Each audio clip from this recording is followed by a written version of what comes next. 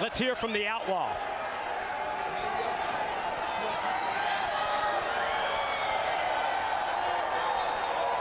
Go ahead, say it. Hey, yo. That's what they wanted to hear.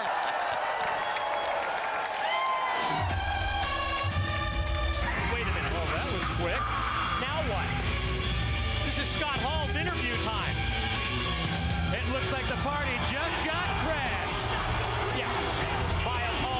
Course, Mr. Jeff Jarrett. It's his right. He's got some issues with Scott Hall, and he's got every right to come out here and rain on Hall's parade. I'm tired of listening to him.